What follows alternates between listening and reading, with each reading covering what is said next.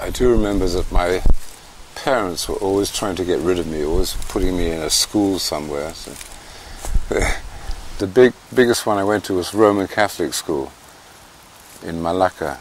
Um, I was there for a long time. I think I was the only English boy there.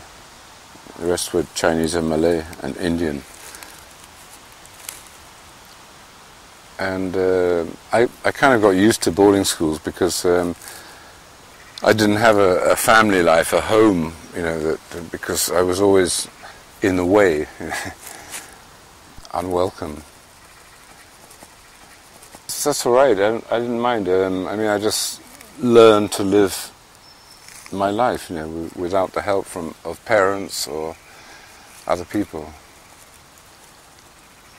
I can spend a lot of time on my own. I don't need to be with other people. And I don't need to talk all the time either.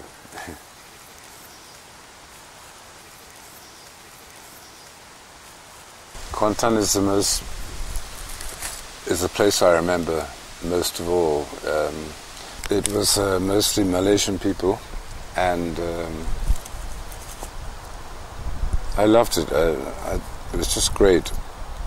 Very beautiful people. Um, I mean, they could have been at the time I was there, they could have been like the, the first hippies. You know? They had the same attitude. Um, they they had religion. They had uh, they were all, but they weren't too tight about it. You know, they weren't um, fanatics. They weren't always thinking about the future or the past. Uh, it was just what was happening was what was happening. It was, you know, that was it. So it's very different from Western civilization, so it's called. Yeah, I used to leave my house um, as soon as possible. I didn't like the, um, the setup there. It was a very kind of controlled, uh, big white boss on the hill, you know, servants and stuff like that. So I used to go on my own to to the beach or in the jungle or I didn't mix with the other English kids at all. I didn't wear shoes, I just wore shorts because um, the Malaysian kids I played with played with um, didn't wear many clothes at all. I used to eat with them and uh, watch their festivals and things. They used to have a lot of a lot of parties. Any excuse to have a party was great although I didn't understand very much about parties because I was only 12. Um, I think what was the best thing was that um, the people there accepted you like, like you were part of the family. Even though I didn't know what a family was.